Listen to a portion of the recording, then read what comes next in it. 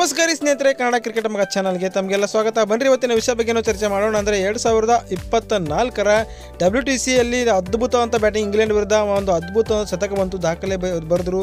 ಯಾವ ರೀತಿಯಾಗಿ ದಾಖಲೆ ಬರೋದು ಜೈಸೋಲು? ಹಾಗೆಯೇ ಮತ್ತೆ ರೋಹಿತ್ ಶರ್ಮಾ ಜೈಸೋಲ್ ಬಗ್ಗೆ ಏನೆಲ್ಲ ಹೇಳಿದ್ದಾರೆ? ಹಾಗೆಯೇ ಈ ಪಂದ್ಯ ಎಲ್ಲರ್ಸ್ ಕೂಡ ಚರ್ಚೆ ಮಾಡ್ತೀವಿ. ಚರ್ಚೆ ಮಾಡೋಕ್ಕಿಂತ ಮುಂಚೆ ನೀವೇನು ಮಾಡ್ತೀರಾ ಅಂದರೆ ವಿಡಿಯೋ ಕೊನೆವರೆಗೂ ನೋಡಿರಿ.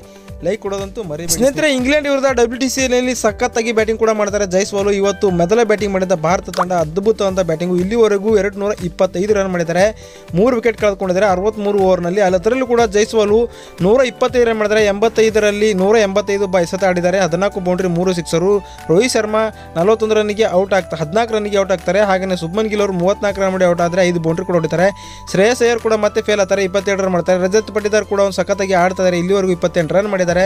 ಹಾಗಾಗಿ ಇಲ್ಲಿ ಜೈಸ್ವಾಲ್ ಅವರು ಅದ್ಭುತವಾದಂಥ ಇಷ್ಟು ಸ್ಕೋರ್ ಕಲೆ ಹಾಕಿದ್ರಿಂದ ಒಟ್ಟಾರಿಗೆ ಐದುನೂರು ರನ್ ಪೂರೈಸುವ ಮೊದಲ ಆಟಗಾರ ಆಗ್ತಾರೆ. ಅಂದರೆ ಎರಡು ಸಾವಿರದ ಇಪ್ಪತ್ತ್ ಮೂರು ಇಪ್ಪತ್ತೈದರವರೆಗೆ ಡಬ್ಲ್ಯೂ ಟಿ ಸಿ ಈ ಈ ಪಂದ್ಯ ನಡಿ- ನಡೀತಾ ಇದೆ ಈ ಟೂರ್ನಿಯಲ್ಲಿ.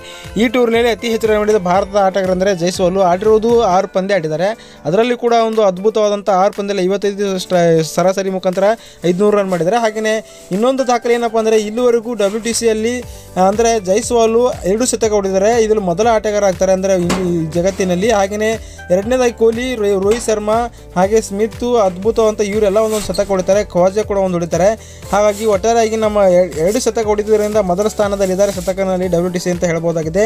ಈ ರೀತಿಯಾಗಿ ಜೈಸ್ವಾಲ್ ಅವರು ದಾಖಲೆ ಬರೋಕ್ಕೆ ಮುಂದೆ ನಡೆ ಮುಂದೆ ಸಾಗ್ತಾ ಇದ್ದಾರೆ. ಅಂದ್ರೆ ಜೈಸ್ವಾಲ್ ಬೆಸ್ಟ್ ಅಥವಾ ಸುಬ್ಮನ್ ಗಿಲ್ ಬೆಸ್ಟ್ ಎಂಬುದು ಕೂಡ ಕಮೆಂಟ್ ಮಾಡ್ರಿ. ಹಾಗೆಯೇ ಇಲ್ಲಿ ಇನ್ನೊಂದು ಮಾತೇನೋ ಹೇಳಿದ್ದಾರೆ ಅಂದರೆ ರೋಹಿತ್ ಶರ್ಮಾ ಅವರು ಸಖತ್ತಾಗಿ ಆಡುವಂಥ ಆಟಗಾರಂದರೆ ಜೈಸ್ವಾಲ್ ಜೈಸ್ವಾಲು ಸುಬ್ಮನ್ ಗಿಲ್ಕಿಂತ ಸರಿಯಾಗಿ ಆಡ್ತಾ ಇದ್ದಾರೆ. ಜೈಸ್ವಾಲು ಇವರು ಅದ್ಭುತ ಅಂತ ನಮ್ಮ ಭಾರತ ತಂಡಕ್ಕೆ ಹೆಲ್ಪ್ ಆಗ್ತಾ ಇದ್ದಾರೆ.